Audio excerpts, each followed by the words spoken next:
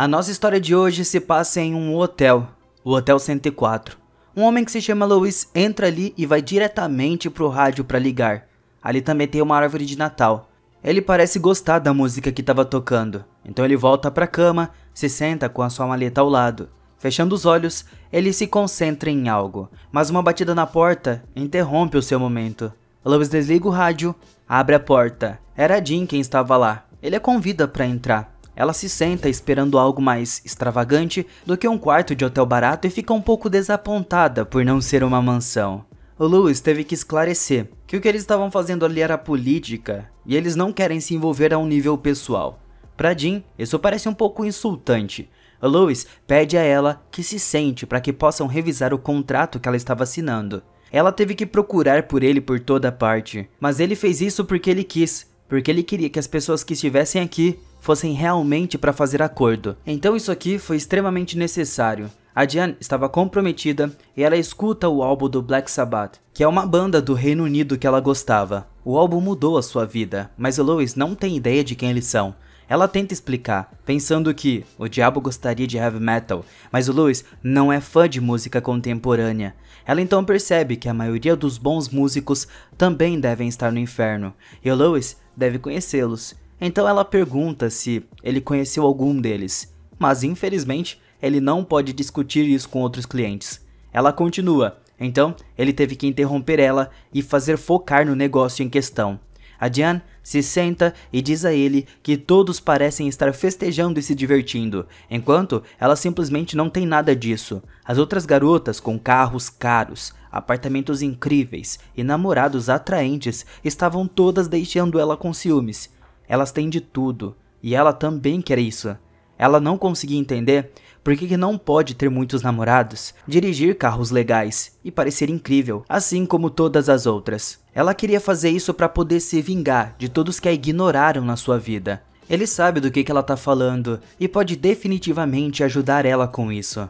A Diane fica um pouco confusa porque ele não estava tentando exatamente convencer ela a vender a sua alma. Ele explica que isso tem que ser 100% decisão dela, ele não tem nada a ver, ele só tá ali como comprador. Aparentemente é assim que funciona.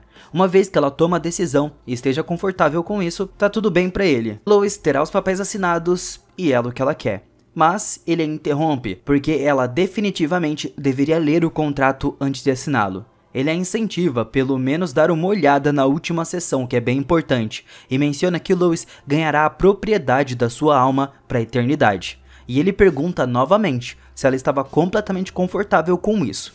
Parece que ela não se importa nem um pouco.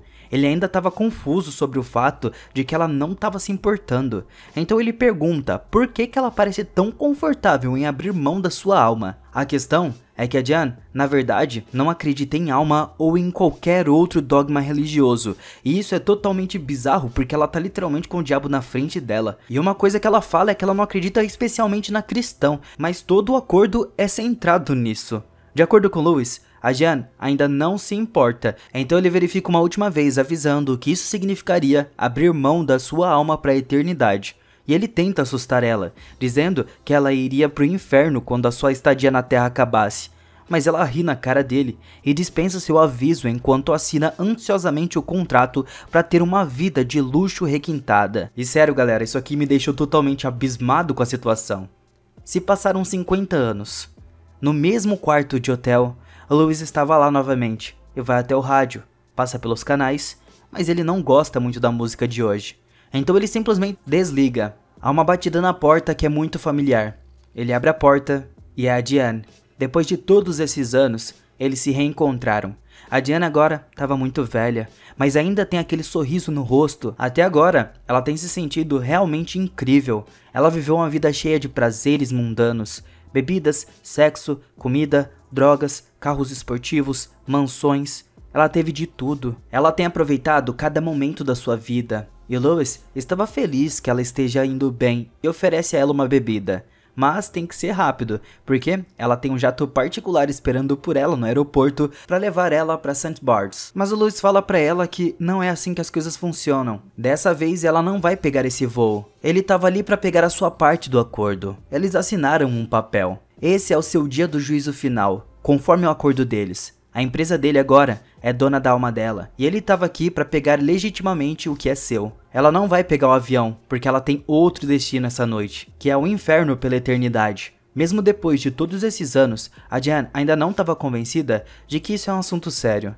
Ela quer que seu advogado dê uma olhada nisso, mas o Lewis mostrou para ela o contrato certinho antes dela assinar e ele fez várias perguntas para ela se estava de acordo com isso. E ela sempre disse a mesma coisa, que não ligava se tinha alma ou não. Ela não acreditava na religião. E segundo ela, ninguém leu os termos e condições. No entanto, parece que assinar a própria alma exigiria alguma leitura. Ela estava tentando ignorar isso, mas eles cumpriram o acordo deles, e agora é hora de cumprir o dela. Ela teve 50 longos anos de vida, e agora é hora de pagar por todos aqueles anos prazerosos e incríveis que ela passou na Terra. A Gian arrogantemente diz não, e isso realmente o deixa furioso. Ele tem que passar por isso toda vez, já que as pessoas têm que discutir com ele ao invés de realmente lerem os contratos que assinaram. Então ela pergunta o que ele quer dizer quando diz inferno. Mas para Louis, isso é óbvio, a parte que todo mundo vê nos filmes e pinturas. Ela pergunta se é um daqueles infernos irônicos como o do Homer Simpson e os Donalds, mas realmente não há ironia aqui. Ela estará entrando em um tormento interminável e um fogo do inferno sem fim e enxofre. E realmente não há como escapar disso. A Jean ainda não estava convencida de que o inferno é uma coisa real, de maneira como é retratada na arte e na mídia. Então ela começa a zombar do inferno no céu. O Lois não esteve no céu, mas é basicamente a ideia de que é um lugar melhor do que o inferno. Quando ela ainda não compra a ideia, o Lois não tem outra escolha senão mostrar a ela uma prévia. Eles vão até a porta do banheiro e quando ele abre, Lá estava, um barulho alto e torturante de miséria ardente do inferno. Isso assusta tanto que ela tem que vomitar na lata de lixo e finalmente percebe que terá que passar a eternidade lá dentro daquele buraco. Seria bom dizer a ela que ela vai se acostumar com tudo isso, mas isso não é verdade. Isso nunca vai acontecer. Para ela, isso pode parecer severo ou injusto, mas todos no inferno estão lá porque merecem ou fizeram um acordo com o diabo como a Jean, mas a Jean não estava deixando isso acontecer. Então, ela chama seu advogado. O estava farto disso. Então ele pega o telefone dela e ele já viu milhares de advogados lendo esses contratos em milhares de idiomas. E sempre acaba da mesma maneira, porque realmente não há brecha, já que ela vendeu indefinitivamente a sua alma e estava indo para o inferno para sempre. O quarto fica sombrio, conforme a Jeanne e Louis se sentam na cama e tentam confortá-la, dizendo que ela teve 50 anos maravilhosos e algumas pessoas nem sequer têm 50 minutos bons. Ele parece triste com ela, mas não é ele quem terá que passar o resto da vida no inferno. Pro Louis, é meio deprimente enviar todas essas pessoas para um tormento interminável e condenação todos os dias, pois é um verdadeiro desânimo para ele. O Lubis estava meio chateado que os humanos ficassem animados e literalmente assinassem aquele contrato por suas vidas. Mas quando é hora de pagar, eles sempre se arrependem e mergulham em uma vida que é ainda pior do que aquela que eles tentaram escapar. Mas a Diane não tinha se arrependido e levou um tempo para se acostumar. Mas uma vez que ela o fez, não pôde ser impedida. Ser uma pessoa maléfica e sádica realmente combinava com ela. Houve um ponto de virada onde as coisas ficaram claras para ela. Ela estava namorando um homem e brincando com as suas emoções, e então percebeu que tinha uma escolha. Poderia ser simpática ou poderia simplesmente deixar para lá e não se importar com nada. Ela escolheu a segunda opção e desligou a sua compaixão. Então saiu com o cara até se cansar e depois o descartou. Mas isso foi apenas o começo, pois ela fez algumas coisas terríveis depois disso. Ela pensou que o Lewis seria o único a gostar dessas histórias, sendo ele o diabo e tudo mais. Mas acontece que, na verdade, o Lewis não é o diabo. Ele apenas trabalha para ele. Quando ela tenta insinuar se ele é um demônio ou não, ele fica realmente chateado, porque ele é mais um assistente executivo do diabo. A Jeanne acha que isso é uma coisa legal, e no começo foi legal, mas depois de algumas milhares de anos, o Lewis estava simplesmente cansado de tudo isso. Ele pensou que estava destinado a esse tipo de vida, mas tem pesadelos horríveis todas as noites e não consegue mais lidar com esses negócios. Ele não tem certeza de quanto tempo mais consegue aguentar. A Jean diz a ele para parar se não gosta mais disso e simplesmente dizer não ao diabo.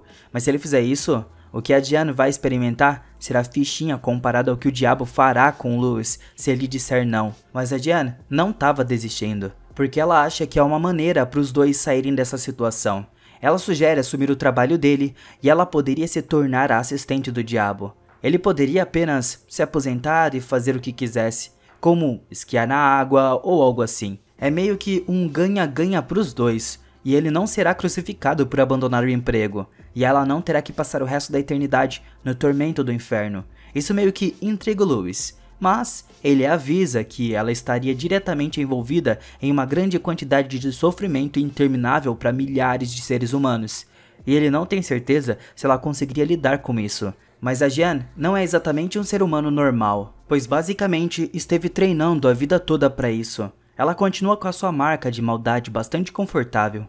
Ele entende que ela é uma sociopata, mas para algo assim, ela tem que ser um nível de maldade que os humanos ainda não alcançaram, porque ela não pode aceitar o trabalho e depois decidir que não consegue lidar com isso, pois isso vai se voltar bastante contra o Lewis. A Diane estava confiante e quer provar a si mesma para ele. Então, ela chama o seu assistente Dustin, que estava esperando do lado de fora, e ele estava no telefone conversando com o pessoal do aeroporto sobre o jato particular dela.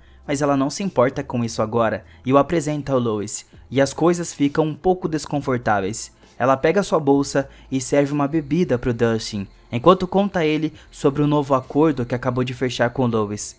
O Dustin parece feliz em ajudar de qualquer maneira que possa, e ela estava feliz por isso. Ela quer dar ao Dustin a oportunidade de experimentar algo que milhões de pessoas têm discutido por milhares de anos, como uma recompensa por ser um bom assistente todos esses anos. O Dustin ainda não tem ideia do que estava acontecendo, mas bebe o whisky e ela o direciona para a porta do banheiro. Ela diz a ele que quando ele abrir a porta, ficará absolutamente atordoado com o que virá do outro lado. Antes disso, ela diz a ele que é grata por tê-lo e por sua paciência. O guia em direção à porta. Ele abre a porta e é imediatamente recebido pela terrível visão do inferno. Ele fica chocado com o que estava vendo, mas sem perder tempo, a Jen o empurra para dentro e tranca a porta atrás dele. Isso parecia ser uma adição adequada, mas Lewis ainda não estava convencido. Então, ela oferece a ele o seu carro, seu jato e tudo que ela tem, incluindo a sua mansão. E ela não estava apenas fazendo isso para salvar a sua própria vida. Agora, ela estava genuinamente animada para condenar pessoas ao inferno como um trabalho. Então Lewis teve que consultar seu supervisor primeiro, e o supervisor surpreendentemente concordou com isso. Ele a avisa sobre a política do inferno e para cuidar das suas costas. Mas, justo quando Lewis estava prestes a sair, há uma batida na porta, e é o seu próximo compromisso que ele esqueceu. Mas esse é o primeiro compromisso da Jeanne. Ela estava muito animada para começar, então ela abre a porta para deixar a mulher entrar.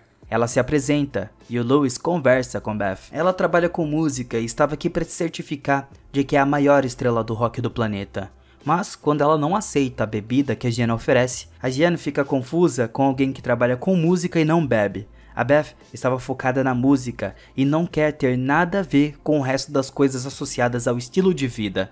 Lewis a faz sentar e pergunta por que, ela quer fazer isso, se apenas pela música. Mas a Jeanne o interrompe, dizendo que a Beth não precisava praticar. Por que usar as escadas se pode usar o elevador? Mas esse elevador em especial não sobe, também não desce. A Jeanne diz a ele para sair porque já fizeram seu acordo e é hora dela fazer o acordo com a Beth. A Beth diz que é uma artista muito ambiciosa, com a indústria da música do jeito que estava, é quase impossível ser notada. E o Lewis ainda estava tentando convencê-la a não fazer isso, mas a Diana o interrompe, porque ela e a Beth estão na mesma página, e ele é o único tentado a lutar contra isso. Então, é melhor ele sair agora. Ele entrega o contrato, mas antes de sair, ele quer escutar uma música dela. A Beth pergunta qual música, e ele diz: Uma música de Natal e ela começa a cantar. A Jeanne e o Louis observam, sabendo o que a espera no final. E aqui nós vemos tudo terminando. Essa é uma história completamente terrível. Nem de longe eu passaria perto dessa galera. Pularia pro outro lado do planeta com certeza. Disso eu quero distância absoluta. E você? O que acha de tudo isso? Deixa nos comentários.